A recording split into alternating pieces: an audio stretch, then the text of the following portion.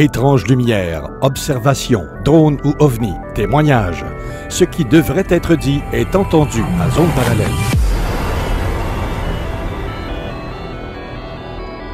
Visitez notre site web à l'adresse www.zoneparallèle.com.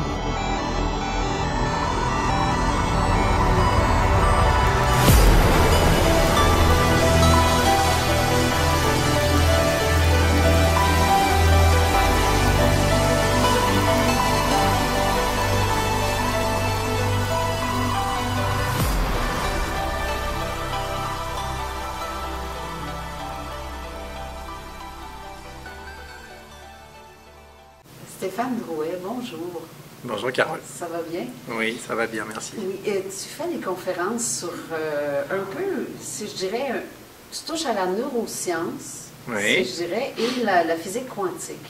C'est ça, oui. Euh, de quoi ça parle? Qu- Qu'est-ce qui t'a emmené à faire euh, des conférences sur ces sujets-là? Y a quelque chose, quelque chose qui a, qui a fait en sorte que tu as découvert via la science et Hmm? la quantique pour en venir à ces conclusions-là que c'est... Bah, c'est un peu, euh, je dirais, euh, un événement qui s'est passé dans ma vie il y a à peu près 11 ans maintenant, euh, où j'étais dans le sud de la France et j'accompagnais ma petite amie qui allait suivre un stage bizarre qui s'appelait un stage de méditation. Tu vois? Tu vois d'où je viens? Euh, Et à l'occasion, en fait, en suivant ce, ce séminaire, on va dire, cet atelier, j'ai vécu une expérience qu'on pourrait qualifier d'état modifié de conscience. Ok. Et je suis passé, euh, on pourrait appeler ça des réalités parallèles aujourd'hui, même en physique quantique, on parle de 12 dimensions.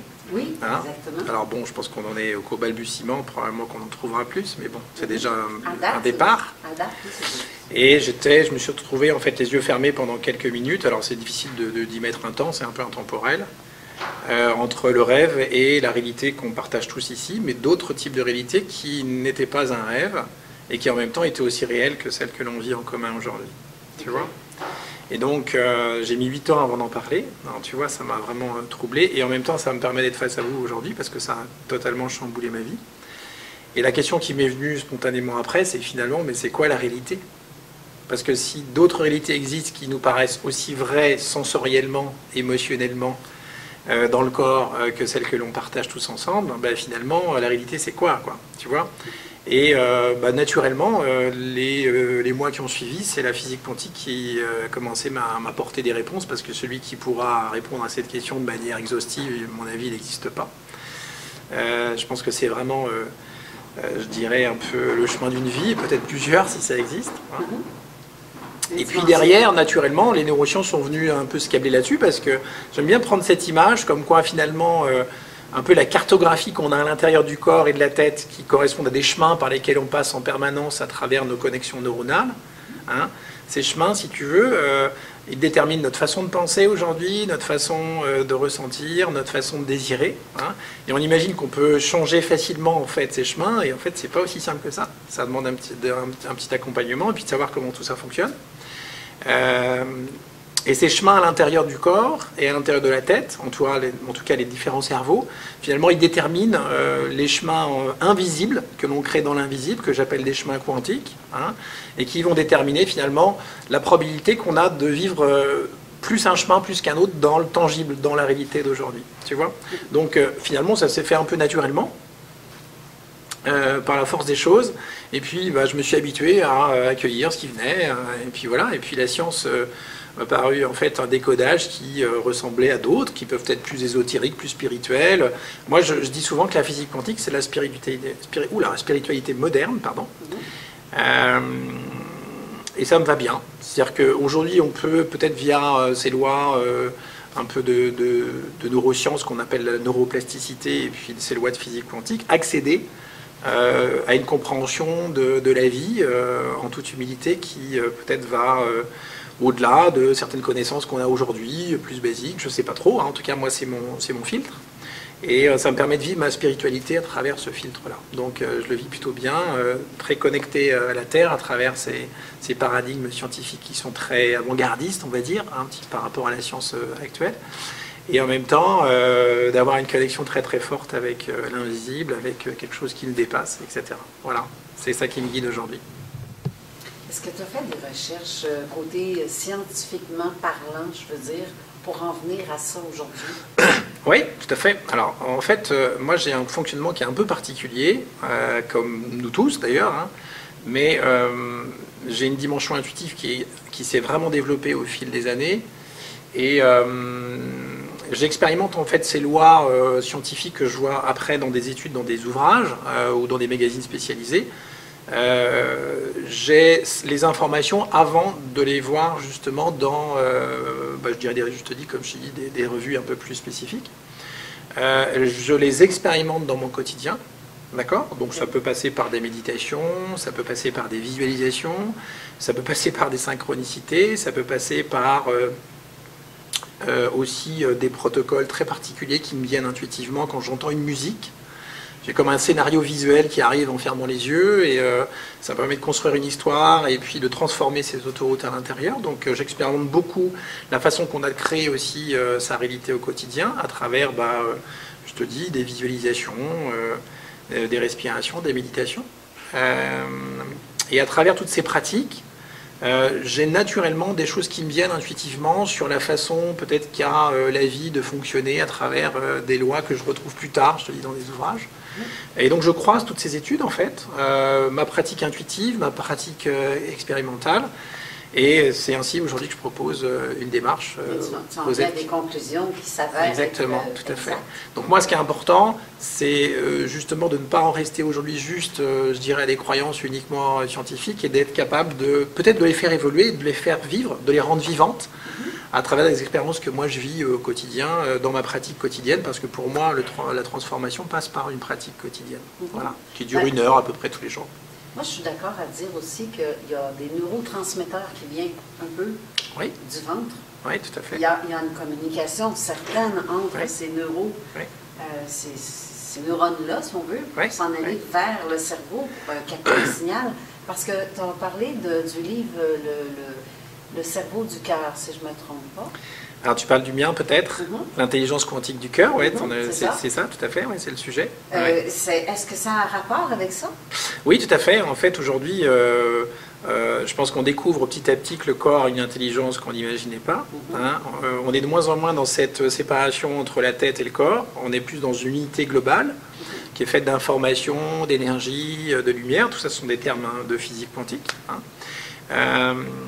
Et l'idée qui était jusqu'à présent euh, partagée comme quoi le, corps était au service de la tête euh, commence à s'inverser petit à petit. Parce qu'on se rend compte qu'on découvre d'autres cerveaux, par exemple euh, celui du cœur, 40 000 neurones, celui du ventre qui est un peu plus connu actuellement, 200 millions de neurones, celui de la peau aussi, hein, qui arrive, celui de la flore intestinale, hein, je dirais le cerveau des bactéries, et puis on a le cerveau des fascias aussi, hein, toutes ces, sacs, ces membranes qui entourent nos organes, nos nerfs, hein, et qui nous permettent aujourd'hui de, je dirais, euh, euh, communiquer de manière unique et unitaire à l'intérieur du corps. Hein, nos fascias qui entourent toutes nos structures permettent justement à, notre corps de fonctionner de manière, je dirais, synchrone. Et donc tous ces cerveaux aujourd'hui, qu'on voit qui ne sont pas juste l'apanage de la tête euh, remettent en question euh, l'idée que euh, l'information, quelque part, est uniquement monopolisée en termes de pilotage par la tête. Et on sait aujourd'hui que l'information, alors ça c'est vraiment une grande nouveauté ces dernières années, l'information va plutôt du bas à 90% vers le haut. Hein? Donc ça, ça change pas mal de choses. Ben, en fait, c'est les ressentis, parce que les ressentis, on ne les sent pas avec la tête. Ben non. Quand on a la peur, on dit on a la peur au ventre, donc ça vient du Ça vient du bas, oui. Ben, justement, le ressenti qu'on a, je sais que ça vient d'ici, puis c'est ce que les recherches que tu as faites. C'est ça. J'ai fait des identiques, justement. Oui. Puis je me rends compte que, justement, il y a un petit quelque chose qui, qui, qui fit avec oui, c'est ça. En fait, l'idée, c'est qu'aujourd'hui, euh, on est parti d'un paradigme qui est en train d'évoluer comme quoi finalement euh, euh, les émotions euh, nous pilotaient dans la vie, que les pensées en, découlaient, mais en fait on a oublié une dimension qui est vraiment unique et qui est essentielle, qui est celle du corps, qui est une dimension qui n'est pas, émotionnelle uniquement, mais surtout sensorielle. Hein, et que les émotions sont plutôt, je dirais, la jonction entre le, corps et la tête, hein, jusqu'aux pensées là-haut et que cette dimension sensorielle, en fait, elle est portée par des structures en nous qu'on ne connaît pas bien, qui sont des nerfs vagues, hein, pas un seul mais deux.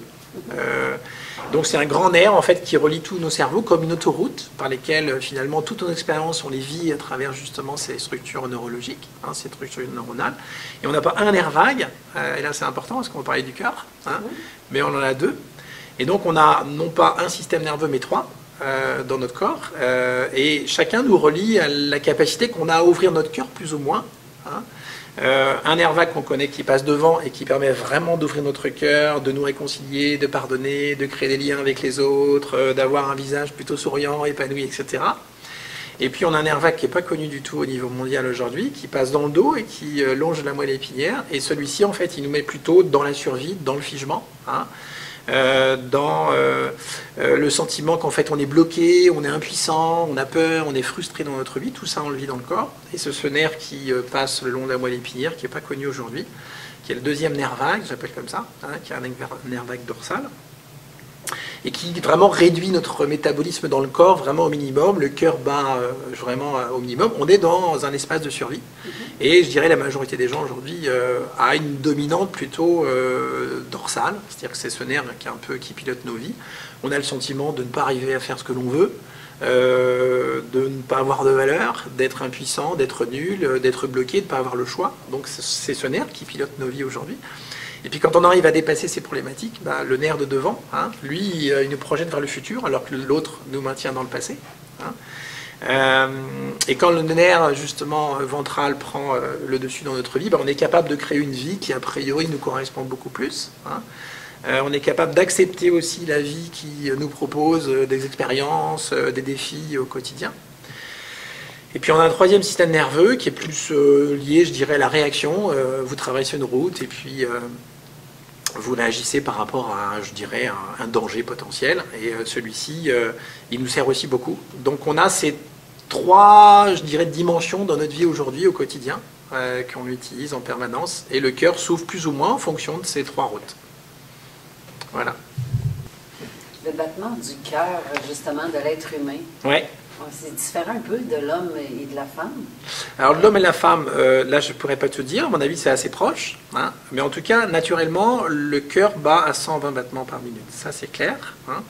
Euh, et en fonction des, trois autoroutes dont j'ai parlé, de ces trois systèmes qu'on a en nous, des trois systèmes nerveux, eh bien on va avoir un battement qui va être euh, modulé. Hein. Donc le système qui permet de réagir euh, aux défis de la vie, bah, celui-ci nous fait battre à 120 battements, c'est celui qui est aux commandes, on va dire, hein, au niveau du cœur. Le nerf vague devant, le ventral, lui, il permet de moduler et de réduire ce battement à à peu près 50-80. Euh, c'est le battement, on va dire, classique du quotidien. Et puis celui qui est derrière, là, le, dorsal, cette fois-ci, lui, il, réduit à moins de 50 battements le, le métabolisme. Alors évidemment, on ne reste pas là-dedans en permanence. Mais quand par exemple on est figé dans une situation, on se sent sans choix, euh, incapable de prendre une décision, impuissant et nul, bah, le battement en fait il diminue encore. Hein. ah oui. Et donc si on n'avait pas ce nerf euh, devant, là, cette autoroute qui relie tous nos cerveaux jusque là-haut, euh, qui module ces 120 battements, bah, à mon avis on ne vivrait pas très longtemps.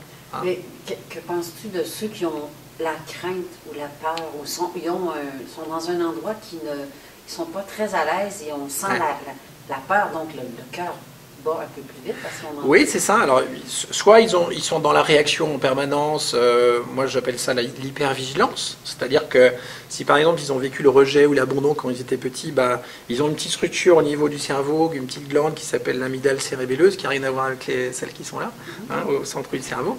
Et c'est comme en fait, c'est comme si on avait un sonar, tu vois, hein, qui scrute un petit peu, euh, je dirais, l'environnement dans l'invisible en permanence et qui va euh, essayer de détecter s'il y a un, euh, danger de rejet ou d'abandon euh, qui serait là, hein, à travers des, réactions des gens vis-à-vis de, soi, tu vois. Et on va focaliser juste sur ces situations au quotidien, et en fait, on va malheureusement ne, pas voir énormément de choses. Hein. Donc, ils sont dans l'hypervigilance, et donc il y, a il y, a un degré de stress dans le corps qui est plus important que la norme, parce qu'on a besoin d'un minimum de stress qu'on appelle le cortisol. Mais si au-dessus, si tu veux, tu as vécu une enfance où tu as eu le sentiment de, vie dans le rejet, l'abandon, la terreur, la peur en permanence, bah, tu vas avoir tendance à focaliser dans ton quotidien là-dessus. Hein. C'est des mécaniques au niveau du corps qui sont des mécaniques de survie. Euh, et dans euh, cette mécanique, bah, forcément, tes battements du cœur vont être différents. Hein. Ils, vont être, ils vont avoir tendance soit à être plus élevés quand tu vois du danger, tout à coup, hein. et puis quand tu te figes, euh, là, ils vont commencer carrément à chuter. hein. J'aime bien cet exemple pour un peu symboliser ces trois, ces trois façons de fonctionner dans le quotidien. Alors évidemment, ça ne vous arrive pas tous les jours, mais c'est l'idée qu'en fait, tu, tu, traverses un- un quartier un peu sombre le soir, tu vois, et puis tu as quelqu'un, euh, un homme qui sort un petit peu d'une rue et qui va te menacer avec un couteau, tu vois. Alors évidemment, ça n'arrive pas tous les jours, hein. mais la première action que tu vas avoir, peut-être, souvent, c'est essayer de négocier avec lui, de le raisonner, etc. Donc ça, c'est vraiment, euh, je dirais, le système euh, du, cœur là, euh, ventral qui va euh, d'abord se mettre aux commandes. On va essayer de négocier euh, et de le raisonner. Et puis si ça ne fonctionne pas, après, on va euh, essayer de fuir ou combattre. Donc ça, c'est le système réactionnel que j'évoquais tout à l'heure. Et puis le dernier, bah, peut-être qu'il va arriver en nous saisissant contre le mur et nous plaquer. Et là, c'est euh, le dorsal derrière, hein, le, nerf vague do- dorsal, qui va nous mettre dans le figement, euh, dans la sidération et dans euh, le blocage du corps, comme si on était une statue, une statue de sel, tu vois. hein. Et ben, au quotidien, en fait, on vit ça en permanence. Et le cœur, bah, il s'ouvre plus ou moins dans cette capacité à rayonner autour de nous. Donc l'idéal, c'est que le ventral, là, le devant, le, nerf vague qu'on connaît le plus communément dans, le milieu médical et dans le milieu thérapeutique, eh bien, il passe aux commandes de notre vie pour qu'on soit capable d'avoir, je dirais, un, visage qui soit plutôt rayonnant, épanoui et qu'on propose le meilleur euh, aux autres autour de nous.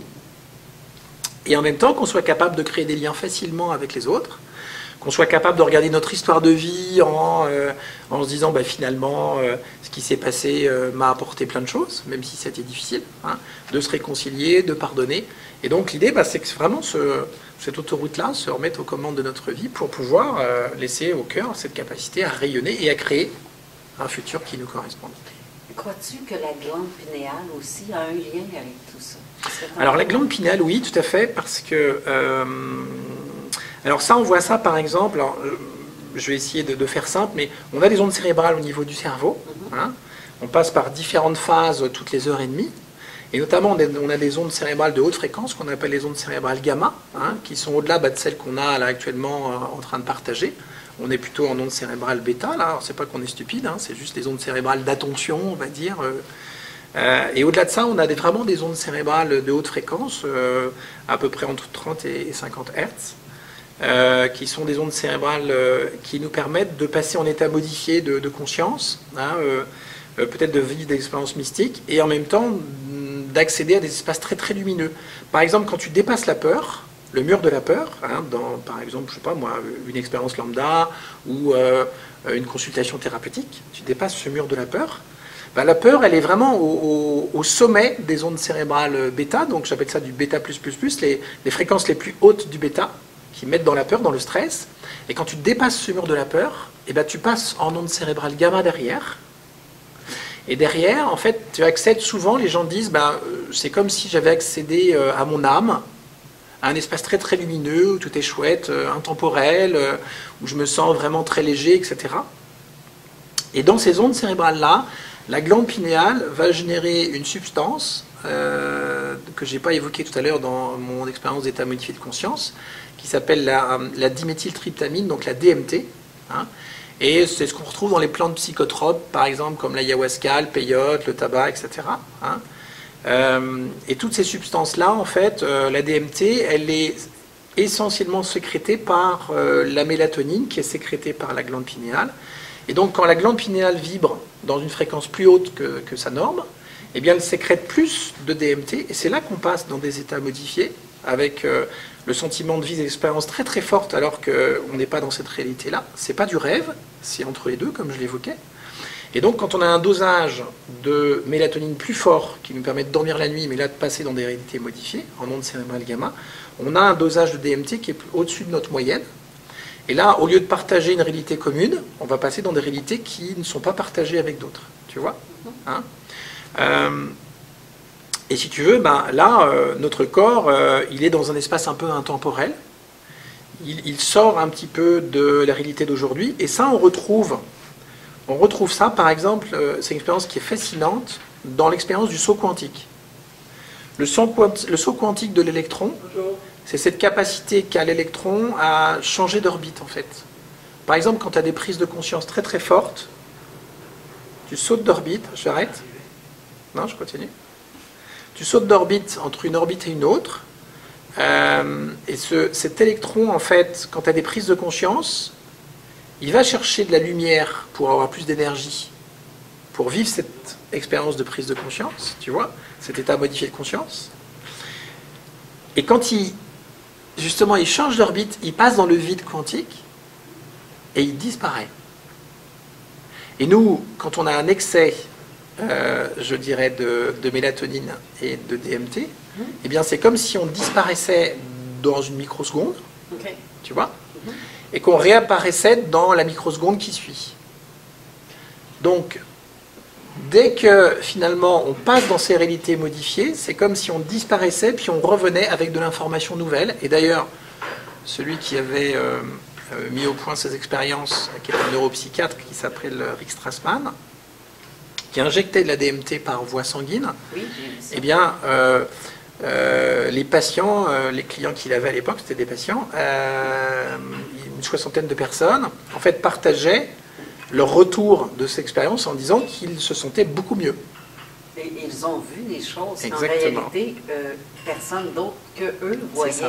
Ouais. Il y en a qui ont parlé qui ont vu des extraterrestres, Par exemple. des fantômes. euh, Voilà. On dit fantômes, j'aime pas vraiment le mot fantôme, on va dire plutôt entité. Ouais, des entités, ouais, tout à fait, euh, avec lesquelles ils dialoguaient Mhm. et qui leur donnaient des réponses euh, Mhm. à leurs questions euh, inconscientes, souvent, hein, bien sûr. Euh, il parlait d'une distorsion du temps aussi, c'est-à-dire que tout s'accélérait. C'est-à-dire que qu'on vivait en 5-6 minutes, eux, ils avaient l'impression que ça durait peut-être des mois ou des années, hein, ou des heures. Euh, donc on avait vraiment une distorsion du temps et puis le sentiment de revenir à la maison. Ce sentiment très léger qu'on voit, euh, de légèreté infinie qu'on voit dans les expériences de mort imminente. Exactement. La différence entre les deux, c'est que là, le cerveau est encore aux commandes, alors que dans les expériences imminentes, de mort imminente, en fait, le cerveau en fait euh, déconnecte. Exactement. Ah. Donc c'est la seule différence entre les deux. Mais on voit que finalement, c'est assez proche comme expérience, et que bah, il se peut très bien que dans quelques années, euh, en interaction avec euh, notamment les champs solaires ou le champ magnétique, magnétique terrestre qui va évoluer, si tu veux, dans, en fréquence, eh bien, on ait un dosage en DMT qui va euh, évoluer et qu'on soit capable d'accéder à des informations nouvelles dans des réalités parallèles. C'est totalement envisageable. hein. Tu Oui. vois, Oui, hein. Parce que l'activité solaire, en fait, s'accélère, elle est de plus en plus dense. Et on voit que dans les périodes d'activité solaire plus dense, le dosage de DMT est différent. Donc, on accède à de nouvelles informations qui, à mon avis, permettent euh, à l'humanité d'évoluer sur la Terre aujourd'hui. Donc, ce que les gens qui ont, euh, ont des ressentis beaucoup plus intenses que d'autres, ou qui ont des visions que d'autres n'ont pas, ça. ça aurait rapport avec... Oui, par exemple, la schizophrénie pourrait être expliquée ainsi. Hein, c'est ce qu'avait évoqué Eric euh, dans, dans ses études. Ça me paraît vraiment tenir la route. Euh, la schizophrénie, on a des personnes qui voient des choses que nous, on ne capte pas dans voilà, le quotidien, parce qu'on a besoin de partager une réalité commune pour pouvoir échanger entre nous. Mais eux, en fait, sont capables d'accéder à ces réalités-là et euh, de voir des choses, d'entendre des choses, de ressentir des choses qu'on ne capte pas forcément nous-mêmes. Et donc, bah, on a le sentiment euh, qu'ils sont euh, peut-être l'objet d'une certaine folie ou quelque chose comme ça, tu vois. Alors qu'en fait, c'est pas le cas. C'est qu'ils ont un dosage qui est différent que pour nous, et que par moment, ils ont des distorsions en termes de réalité et d'espace-temps, et qu'ils accèdent à des informations auxquelles on n'accède pas nous. Tu vois oui. Hein. Donc voilà, c'est un exemple, mais il y en a d'autres. hein, euh. Par exemple, les drogues qu'on prend, euh, on sait que le dosage de la DMT euh, évolue aussi. hein. Toutes ces drogues que prennent peut-être les jeunes ou les moins jeunes, etc. Ben, bien sûr, bien On a des dosages en DMT qui sont différents. Et c'est pour ça que les gens, qu'on dit euh, de prendre, quand quelqu'un prend de la drogue qui, qui- contient une certaine dose de DMT, c'est ce qui fait que les gens vont dire halluciner. Oui, Et tout à les autres vont dire, ben, est-ce que c'est vraiment une hallucination ou est-ce que Bah, ça, a priori, ça non. permet réellement de voir des choses qu'on les autres ne voient pas? Je- a priori, il semblerait que ce soit le cas. En tout cas, les études des années 90 semblent aller dans ce sens-là. Et j'ai participé il y a quelque temps à un congrès avec des chercheurs américains à Paris, auquel participait notamment Joey Dispenza, hein, qui est un, un chercheur en neurologie assez connu au niveau mondial, et qui va dans ce sens-là. hein. Ce que je partage avec vous, il le dit aussi maintenant, hein, à travers ses études à lui, euh, avec beaucoup, beaucoup de, je dirais, de personnes qui se prêtent à ces expériences. Et il parle justement du dosage de la mélatonine qui évolue en ondes cérébrales de haute fréquence, et avec un dosage de DMT qui est différent. Et donc d'accéder à des nouvelles informations et de revenir en se sentant beaucoup mieux. Les expériences d'ayahuasca vont dans ce sens-là. hein. Exactement. Ah.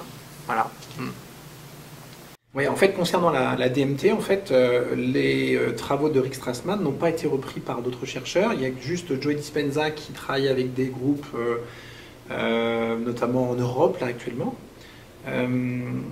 Et ce que je veux dire par rapport à, là, à, à tout ça, c'est que euh, aujourd'hui, il y a des pistes thérapeutiques qui sont, à mon avis, euh, véritablement à parfaire à ce niveau-là. Mhm. Hein, parce que plus on sera capable d'utiliser la capacité qu'on a par la conscience à passer dans des modes d'hyperconscience, c'est-à-dire que on soit capable de peut-être de faire évoluer le dosage de DMT dans le- le- la circulation sanguine, dans le système sanguin, Mhm. Ou peut-être de faire vibrer la glande pinéale sur une fréquence plus haute, eh bien on sera capable d'aider les gens sans passer forc- forcément par des plantes. hein. alors, les plantes, pourquoi pas mais on serait capable de faire évoluer justement les gens plutôt plus souvent en ondes cérébrales haute fréquence, hein, et qu'ils soient capables d'aller chercher des informations dans le vide quantique et de revenir en se sentant mieux. Peut-être comme tu le disais, en discutant avec des entités guérisseuses, euh, euh, des êtres que l'on ne voit pas aujourd'hui, qui sont capables dans l'invisible de nous parler, de répondre à nos questions, etc., à nos questions inconscientes. hein. Sûrement comme ça se joue euh, au niveau des plantes, euh, et donc avec l'esprit des plantes, notamment les ayahuasca. Exact. Euh, et moi, je vois vraiment des pistes thérapeutiques très fortes dans les années qui viennent. Et donc aujourd'hui, ben, euh, je dirais ces travaux, ils sont restés un petit peu euh, à l'état de, de jachère, hein, je ne sais pas si ça se dit en québécois, Mhm. en tout cas de chantier. Euh, mais certains commencent à en parler, là, des, des gens qui sont un peu plus connus, comme je te disais, comme, comme Joey. hein. Donc, moi, je sais qu'en fait, j'ai une pratique quotidienne où je bascule souvent dans ces états, et c'est comme ça que l'information descend.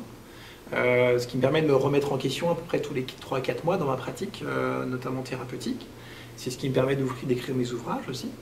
Et puis, euh, surtout de m'ouvrir. Parce qu'en fait, le, but de notre vie, un des buts, s'il y en a, il y certains, c'est peut-être de faire que notre antenne soit capable de capter de plus en plus d'informations et d'être capable de, euh, de mettre au service de l'humanité, et puis peut-être au-delà de nous, parce que l'humanité c'est un peu réduit aujourd'hui, hein, parce qu'on parle que de notre planète, hein, mais il y a sûrement d'autres systèmes où il y a des formes vivantes, de mettre au service peut-être de, de- de l'univers, de, de nouvelles connaissances, comme Einstein qui euh, capte une équation hein, euh, du vide. Oui. Euh, et que justement en modulant notre antenne de plus en plus, euh, en nous allégeant au niveau du corps, parce que ça va passer justement par toutes ces structures, notamment au niveau des fascias, qui sont bloquées aujourd'hui et qui ne sont pas assez vivantes pour capter de l'information vivante. Mais je crois que ça a un lien peut-être aussi avec le fait que quand on est enfant, on n'est pas encore à l'école, on ne se fait pas implanter un paquet de trucs dans le cerveau et on se fait pas dire que rien n'existe de tout ça. Ça. Donc, euh, on grandit. euh, Ouais, c'est ça. Et en même temps, ça part du corps. oui. C'est-à-dire toutes nos croyances, hein, comme si on reprend cette histoire du flux d'informations qui part du bas vers le haut, Mhm. toutes nos expériences aujourd'hui ont commencé dans le corps.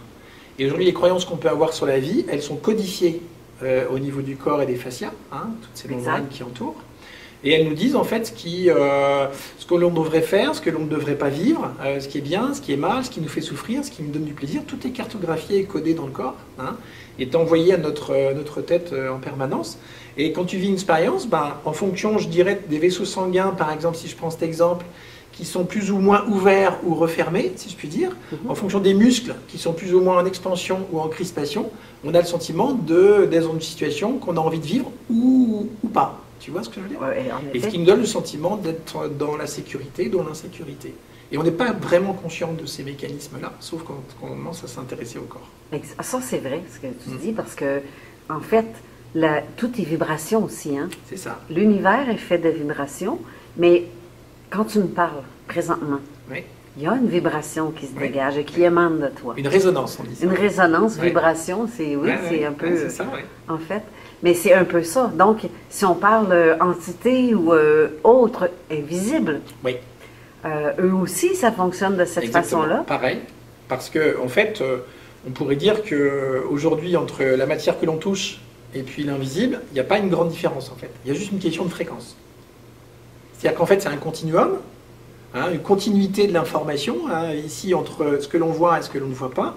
Et c'est juste une question, euh, je dirais, de hauteur de fréquence.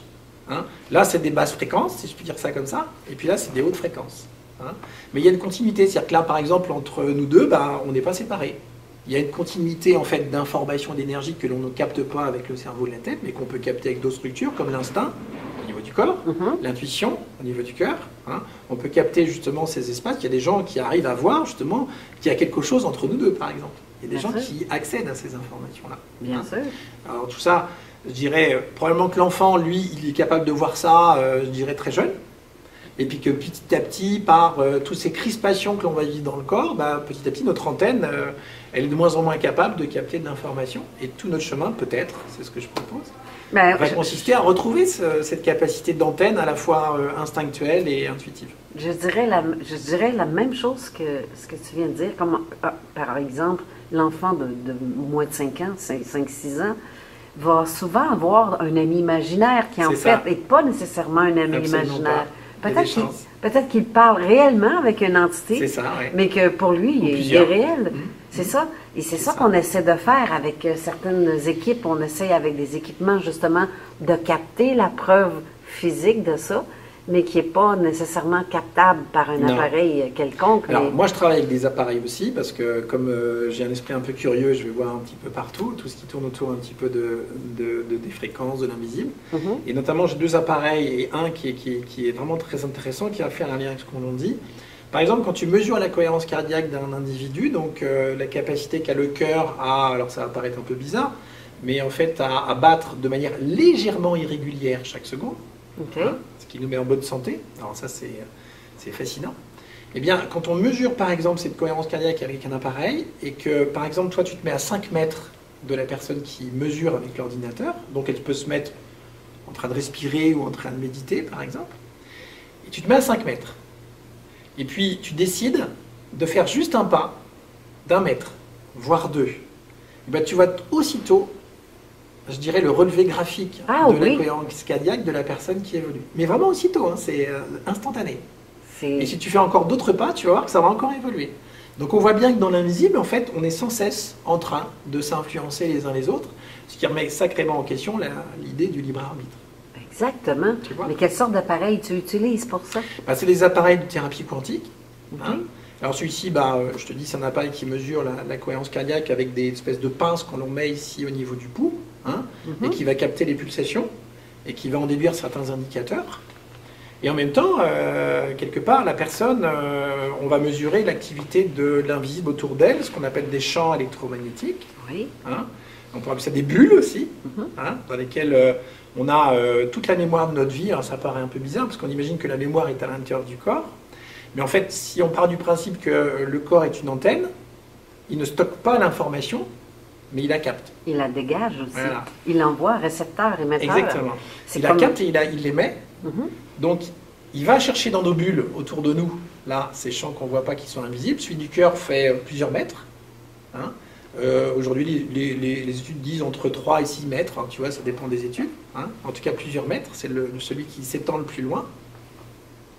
Et dans ces bulles-là, en fait, on a accès, on aurait accès, c'est ce que disent de plus en plus de physiciens, à la mémoire de notre vie. Toute notre histoire de vie, en fait, serait, euh, je dirais, accessible dans ces champs-là. Et notre corps, en permanence, par exemple, quand tu es dans un moment de tristesse, bah, ton corps, naturellement, va faire antenne vers des souvenirs de tristesse. Il va aller télécharger, comme un Wi-Fi, oui, des informations euh, de tristesse, et puis tu vas ressentir encore plus de la tristesse. C'est comme quand tu rentres dans un lieu X ou que tu es seul dans la bâtisse, dans la pièce, et qu'il te vient un moment de, de tristesse ou de colère, Ouais, ou, par exemple. ou peu importe, c'est quelque chose qui a été laissé là. Ouais, c'est dans ça. un- Et qui rentre en résonance avec la tienne. C'est ça, donc Voilà. une trace d'énergie résiduelle qui est restée dans un lieu, dans les, dans, entre quatre Ouais. murs. Alors un lieu où euh, des êtres humains. Exactement.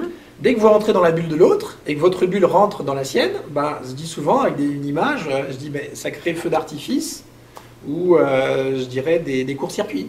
hein. Et c'est comme ça en fait que se crée la relation vraiment. C'est pas en se regardant, en se sniffant, ou en se reniflant, ou en se touchant. ah, bah, ça, ça- ça joue, c'est vrai. Mais ce qui se joue bien avant, c'est vraiment l'interaction entre ces bulles invisibles, qui nous donne le sentiment d'avoir envie de rester avec la personne ou plutôt de la fuir. Voilà. Quand on ressent un- quelqu'un euh, vraiment négativement, Oui.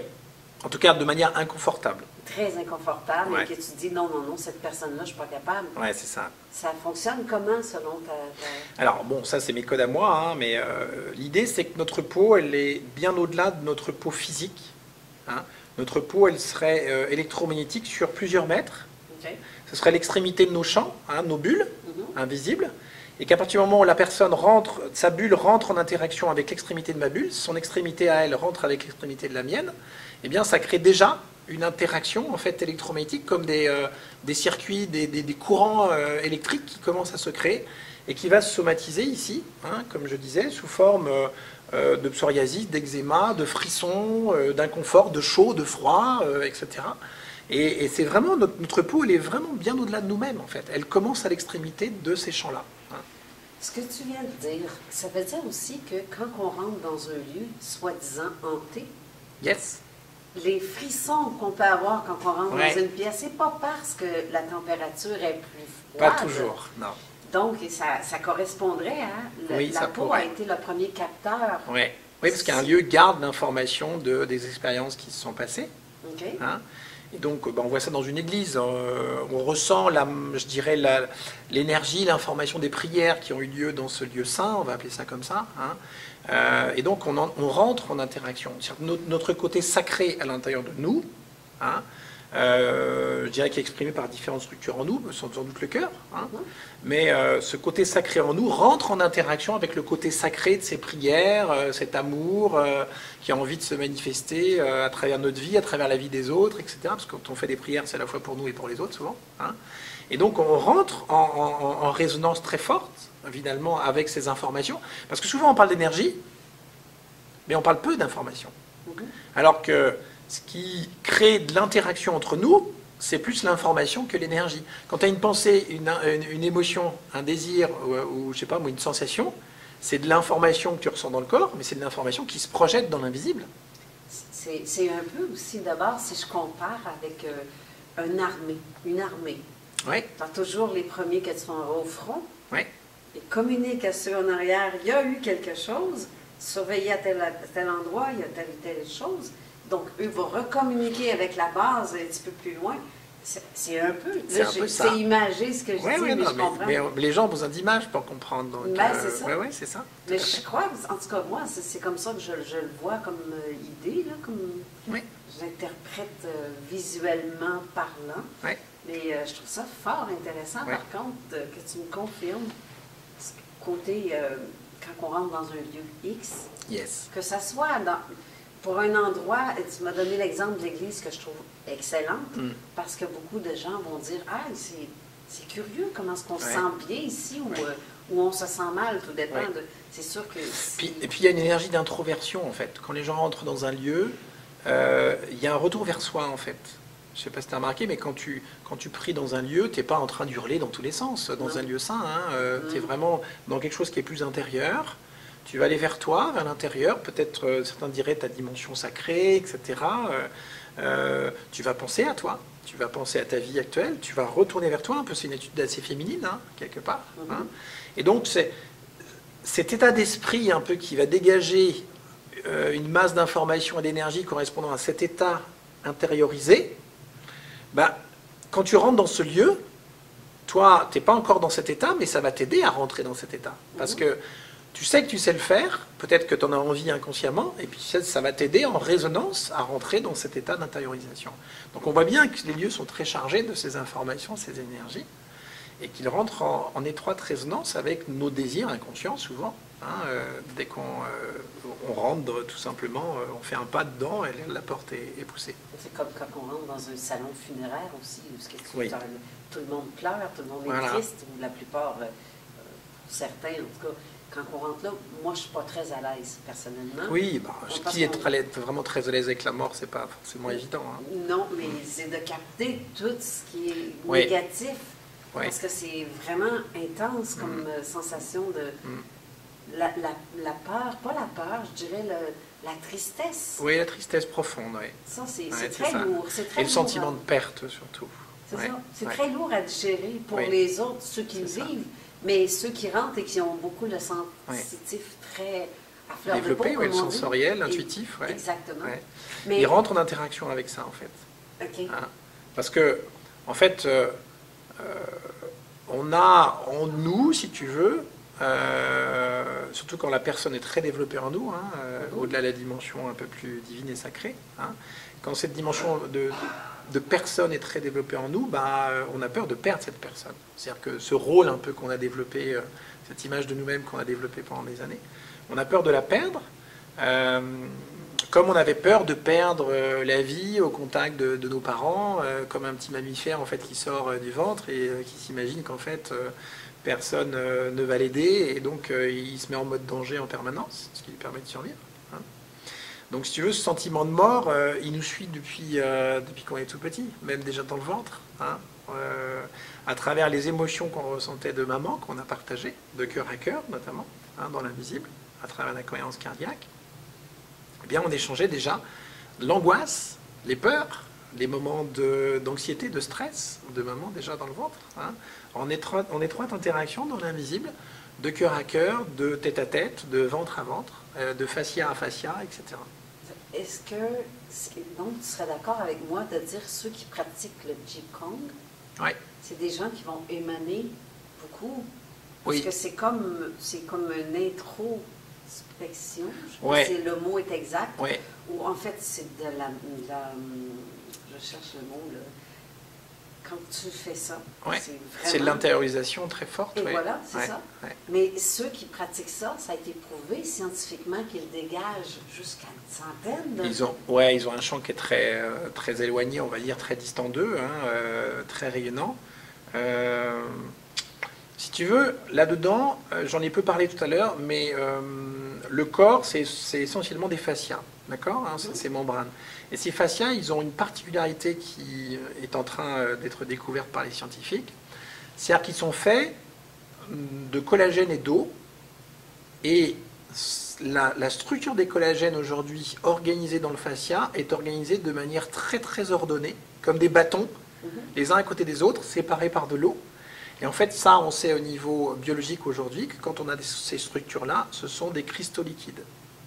Et en fait, on est tapissé de cristaux liquides au niveau du, corps, ce qui explique pourquoi nous sommes des antennes. Et en fait, le propre de ces cristaux liquides, c'est qu'ils sont capables d'amplifier un message que l'on émet et un message que l'on reçoit. Ça veut dire que ça explique plein plein de choses, notamment dans la communication dans l'invisible de corps à corps. Hein, il a, euh, vous avez une vidéo sur le net où on voit un guide euh, africain qui est face à un éléphant. Euh, et l'éléphant s'approche et on sait que l'éléphant, euh, bah, il est plein de fascia comme nous et il capte plein d'informations dans l'invisible, notamment le stress et la peur. Mhm. On voit ça chez les mammifères, chez je sais pas, les chiens par exemple, hein, ils sont capables de mordre comme ça pour un oui, pour un non. Ou pas, hein, ou, s'approcher de nous. Euh, et donc on voit bien qu'il y a une communication qui se fait dans l'invisible, euh, de corps à corps à travers ces fascias, qui sont des structures qui sont faites naturellement pour échanger, pour réamplifier de l'information à l'intérieur du corps, mais entre les corps aussi. Et ça, c'est fascinant. Et on ne sait pas à quelle distance ça se fait aujourd'hui. Est-ce que c'est uniquement dans ces champs électromagnétiques à courte portée de quelques mètres, ou si même au-delà, au niveau quantique, euh, séparé de 10 000 km Est-ce que tu es d'accord avec moi pour dire que tout ça, en fait, euh, c'est plus vraiment, le, je te dirais, scientifique plus qu'ésotérique? Alors tout ça, en fait, si tu veux, quand tu regardes les sagesses ancestrales, euh, ésotériques, elles, on dit la même chose, avec des mots différents. hein. D'ailleurs, euh, globalement, euh, euh, la science n'a rien inventé de, en soi aujourd'hui. Elle permet peut-être de rassurer les gens en les rattachant à des choses qu'on l'on connaît, tu vois, Oui. hein, plus matérielles, on va dire. Mais en soi, euh, c'est pour ça que je dis que la science aujourd'hui, c'est de la spiritualité plutôt moderne, tu vois, parce que petit à petit, les deux clivages qu'on avait là, hein, les deux domaines, euh, spiritualité et science, sont en train de se réunir autour d'une façon de voir le- l'univers et la vie euh, unique. hein. Euh, c'est comme si en nous, cette dimension spirituelle et matérielle commençait aussi à, se réunir. C'est comme si la tête et le corps commençaient à se réunir aussi. Le corps était plus associé au matériel et la tête plutôt au spirituel jusqu'à présent. Mais on voit qu'on est fait de plusieurs intelligences, plusieurs, euh, je dirais, types de conscience différentes. Et que ces différents états de conscience, ces différentes sphères de conscience, le corps et la tête sont en train aujourd'hui de se réunir en un seul. Et ça, c'est vraiment quantique. C'est justement parce qu'il y en a plusieurs qui vont dire ah, tout ce qui est ésotérique euh, ou tout ce qui est religion, ça n'a rien à voir avec la science. Bien au contraire. Mais c'est justement ce que je crois que, je, je- personnellement, je crois, peut-être, comme tu me confirmes toi aussi de ton côté, tu dis bien au contraire, effectivement, parce que les gens essayent d'expliquer d'une façon, on met des mots sur quelque C'est chose. des filtres différents. C'est ça. C'est juste que ça porte peut-être un autre nom, mais il ne faut pas voir tout. Euh, parce que ceux qui croient, exemple, aux anges ou euh, à une mentalité X qui a rapport Ouais. avec euh, les- Par exemple. C'est ça. C'est, en fait, si tu veux, euh, il n'y a pas de différence entre, alors ça c'est une autre dimension de la physique quantique, entre créer des images par nos différents cerveaux qu'on appelle des images holographiques, Mhm. c'est-à-dire des reproductions de nous-mêmes. hein. Souvent, quand on regarde chez, le, chez l'autre ce qui ne nous plaît pas, en fait, c'est une projection de nous, hein, ce, que, ce qu'on n'aime pas en nous, hein, ou ce que l'on aime en nous. hein. Et il n'y a pas une grande différence euh, au niveau quantique entre créer une image là que l'on voit de manière tangible autour de nous, qui est euh, notre compagnon, nos parents, nos enfants, hein, qui sont des images, des projections de nous-mêmes, et puis des projections dans l'invisible qu'on appellerait des anges, des entités, qui sont quelque part des projections de nous-mêmes aussi. Tu vois tout ça hein Et donc, euh, bah, quand il nous parle, euh, c'est comme si on avait une petite voix intérieure qui se parlait. Tu vois, quand on parle d'un ange qui nous parle, mais, mais c'est aussi un dialogue intérieur qu'on a euh, en permanence. hein. Le Bouddha appelait ça la révélation, Oui. l'effet miroir. Quand on se voit, en fait, je dirais, dans, dans de l'eau, on voit notre, notre image. hein. Bah, se voir dans l'eau, imagine que face à toi, tu as de l'eau en permanence. Je vais en parler conférence là, dans- dans- dans quelques minutes. En fait, L'invisible, c'est que de l'eau. En fait, c'est un état de l'eau. On va dire une nouvelle tendance qui serait plus quantique. C'est le quatrième état de l'eau, qui serait un état qu'on ne sait pas nommer aujourd'hui, qu'on nomme quantique. hein. Euh, On a des chercheurs comme euh, le professeur Marc-Henri qui commencent à en parler, des spécialistes de l'eau, qui est un état nouveau de l'eau où en fait euh, l'invisible ce sera une espèce de super liquide où euh, toutes les ondes, euh, toutes les informations pourraient transiter comme des vagues et qu'à chaque fois qu'on aurait une pensée, une émotion, une sensation, ben, on ferait bouger cet océan autour de nous hein, et qu'on aurait une influence sur les autres qui eux-mêmes en auraient une influence sur nous, etc. en permanence. en fait, l'eau, c'est l'énergie. Et notre corps est fait d'eau. Oui, Donc, c'est facile pour certains. euh, Peut-être qu'il y en a qui sont plus encrassés ou qui veulent Peut-être plus, pas, oui. Je ne sais pas de quelle façon on peut arranger ça euh, pour soi-même, quelqu'un qui ne voit pas. Parce qu'il y en a qui se demandent pourquoi toi tu vois et moi je ne vois pas? Euh, je donne souvent comme exemple aussi, il y a des personnes que, dans mon cas, c'est ça, euh, ceux qui ont vécu une mort imminente, yes, ils reviennent avec quelque chose. bien sûr, de nouveau. Ils reviennent, oui, justement. Il y a comme une petite connexion qui s'est faite suite à ça, que ça a toujours resté comme ça. Ça a toujours resté où ce que les gens. Et je me suis rendu compte que la plupart, j'ai fait même un test euh, côté euh, pour a- a- obtenir un pourcentage de gens, et je, je- vous allez être surpris de savoir le, le- le haut niveau de pourcentage à quel quelqu'un qui a vécu une expérience de mort imminente ou un traumatisme excessivement fort, assez pour traumatiser quelqu'un, c'est comme s'il y a un petit déclic qui s'est fait dans le système et que ça... Est-ce que tu es d'accord avec mon... Euh, alors, je suis, je suis d'autant plus d'accord que je l'ai plus ou moins vécu il y a trois ans maintenant. Alors, je sais, ouais, c'est à peu près ça, trois, quatre ans, trois ans, je crois, oui. Où euh, je suis tombé dans ma salle de bain. C'est-à-dire, j'ai fait un reset. En tout cas, c'est comme ça que je l'ai perçu, Oui, tu vois. Euh, donc, j'ai vraiment perdu connaissance. Je ne sais pas combien de temps je suis resté sans connaissance, mais quand je suis revenu, alors déjà, j'avais un lien très très fort avec, euh, je dirais, euh, une dimension euh, au-delà. C'est-à-dire, je sentais que là, tout à coup, j'avais un lien qui était au-delà de moi-même par rapport à quelque chose qui me dépassait. Hein, j'avais, les mains vers le ciel comme ça et, j'implorais quelque chose euh, que je ne fais pas d'habitude, hein, tu vois. et ça a duré plusieurs minutes. Et ce que je peux te dire, c'est qu'après, je n'étais pas le même homme. Ça, c'était évident. J'avais une conscience, je dirais, des choses qui étaient différentes. C'est-à-dire qu'au lieu de me voir comme un être humain euh, à part entière, on va dire, euh, voilà, euh, comme un peu comme, comme chacun d'entre nous, hein, j'avais une, dimension plus globale en fait de l'humanité. C'est-à-dire que je concevais le, développement de, de l'être humain plutôt à un niveau planétaire. C'est difficile à expliquer, hein, mais En termes de conscience, pour moi, c'était vraiment différent. C'était une étape, mais le fait de tomber dans la salle de bain m'a permis. Alors, en fait, pour être complètement calme, je ne sais même pas comment je suis resté en vie, parce que quand je vois la distance entre le lavabo et ma baignoire, normalement, je n'ai pas la place, parce que je mesure près d'un mètre 90 quand même. Euh, quand je vois euh, la taille qu'il y a, euh, la distance qu'il y a entre les deux, normalement, j'aurais dû me tuer. Et ça, c'est pas fait. Donc, je suis vraiment passé ailleurs. Sorte de, de traversée à peu près, Oui. dans une autre dimension. justement. Exactement. Ce qu'on dit, comme tu n'as pas vu la lumière, comme la plupart des gens qui disent. euh, Non, mais euh, je suis très rapidement allé chercher de l'information et quand je l'ai téléchargé, quand je suis revenu, j'avais une autre euh, vision de la vie. Ça, c'est Et ça a été rapide. Ça, c'est vrai. Mm. On a vraiment, quand quelqu'un vit quoi, un changement, un, un- un choc émotionnel excessivement grand, ça change une vie. C'est clair. Il y en a qui vont peut-être pas jamais euh, évoluer dans ce sens-là. C'est comme ils veulent, ne veulent surtout pas croire Ouais. que c'est possible. Mais quelqu'un qui, qui vit, parce que pour moi, il n'y a rien mieux que l'expérience pour comprendre. Bien sûr. C'est ceux qui ne comprennent pas. mais- Je le dis au quotidien, je dis aux personnes, c'est bien d'aller faire de, enfin, voir des conférences, d'assister à des conférences, de lire des ouvrages, mais c'est pas ce qui va vous changer dans votre vie. Non, Ce sont juste des points d'entrée pour participer à des expériences euh, nouvelles pour vous. C'est-à-dire que ça vous donne envie de vivre quelque chose de différent. Mhm. hein. Donc c'est juste des points d'entrée, mais que derrière, si vous ne vivez pas cette expérience, bah, vous allez voir qu'au quotidien, il ne se passe pas grand-chose de nouveau à l'intérieur de vous et à l'extérieur de vous. De toute façon, je crois que rien n'arrive pour rien. Bien sûr. On ne rencontre pas quelqu'un pour rien. Par Il y a une raison à tout. Mm. Euh, comme là, je te parle. Mm. On, se- on discute, je trouve ça intéressant. Peut-être que dans deux ans, dans trois ans, il y a peut-être quelque chose dans mon futur qui a un lien avec le pourquoi on, on communique aujourd'hui. Moi, je sais que, en fait, j'ai comme la sensation et le sentiment intérieur que je dois partager ce genre d'informations-là pour que les gens comprennent que tout ça existe, en fait, et que c'est pas dans la tête des gens quelqu'un dit je ressens ou je vois, ou c'est surtout la sensation. Parce que tout commence par le ressenti d'abord. Oui, c'est ça. Ça commence. En fait, l'information commence dans la sensation. C'est ça aujourd'hui. C'est-à-dire que le corps perçoit l'information avant la tête, une demi-seconde avant. Mhm. Ça, c'est sur des expériences qui datent de 2010 à peu près.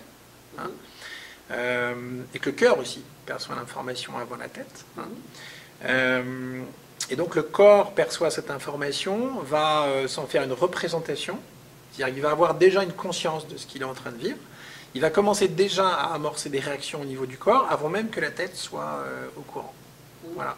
Donc on voit bien que les sphères de conscience au niveau de l'être humain sont multiples. hein. J'évoquais euh, la tête, le mental, euh, j'évoquais les sensations, on pourrait appeler ça l'instinct aussi, tu vois.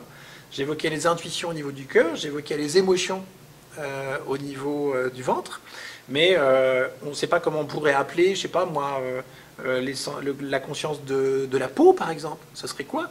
On va peut-être trouver des nouveaux mots pour décrire ça. La conscience des bactéries aussi, quelque part, des microbes, dans ce qu'elles vivent, on pourrait appeler ça avec des mots différents. Voilà, donc je pense qu'on est vraiment à l'amorce d'une nouvelle ère, et ça se fait petit à petit. Voilà. Alors, merci beaucoup, Stéphane Drouet.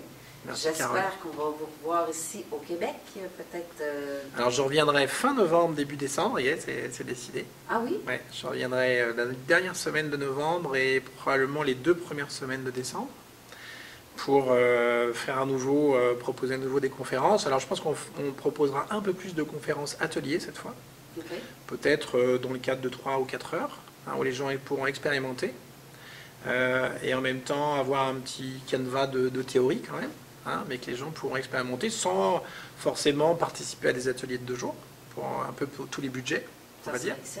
Hein Euh, parce qu'on a envie, euh, avec Vox Populi, là, euh, avec, euh, avec lequel je travaille, au Québec, de proposer un peu plus de vivant, en fait, durant les soirées.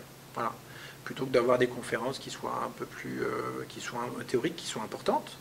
Mais moi, j'ai vraiment envie de proposer de l'expérientiel de plus en plus. Ça, ça serait donc à surveiller étroitement avec, euh, le- sur le site de Vox Populi. Voilà. Merci encore une fois Merci, pour Carole. votre participation. Je trouve ça très intéressant. Merci à toi. Au revoir.